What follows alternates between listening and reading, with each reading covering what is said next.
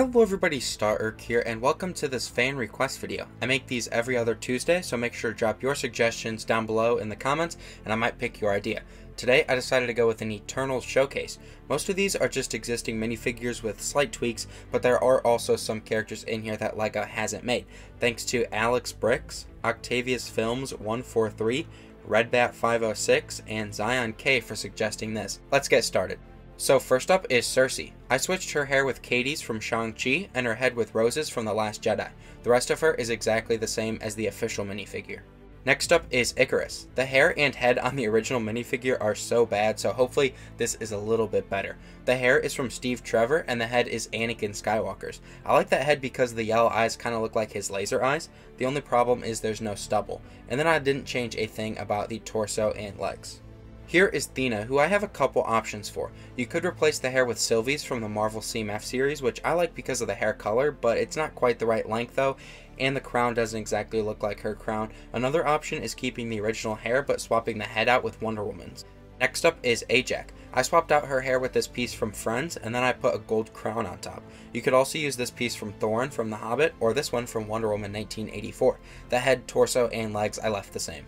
Here is Kingo. All I did with him is replace his hair with the Where Are My Pants guy's hair, but I really think the perfect hair for him is from the original Robin minifigure. Unfortunately, I don't have that minifigure though. If you wanted to make him in his Icarus costume from his movie, you can give him the Icarus torso and legs and replace the arms and hands with medium nougat ones.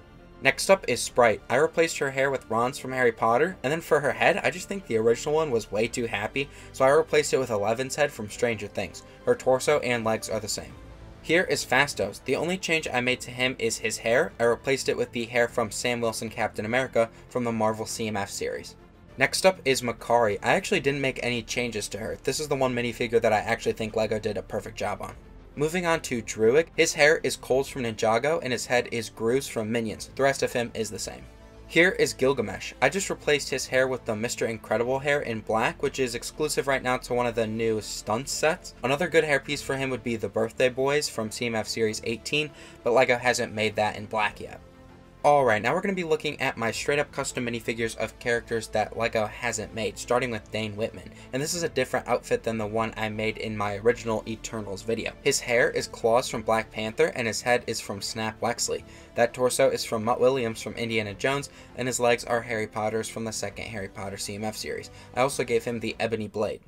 Next up is Karun, Kingo's agent. His hair is from the newer Doctor Strange minifigures, and his head is from Vitruvius from the LEGO Movie DVD pack. His torso and legs are from Peter Pettigrew from a really old Prisoner of Azkaban set, but I replaced the hands on the torso to match the head. I also gave him a camera piece. Here is Eros. His hair is Jacob's from Fantastic Beasts, and his head is Viktor Krum's. That torso is Shazam's. I just think the lightning bolt kind of looks like his chest plate. And then his legs are from the Flash from Justice League. I also gave him a red cape and a gold stud to represent the little gold ball thing that he has and Sersi has. And lastly here is Pip the Troll. His hair is the Monkey King's from CMF Series 19, and his head is Ori's from The Hobbit. It almost looks like he's burping, which is pretty funny.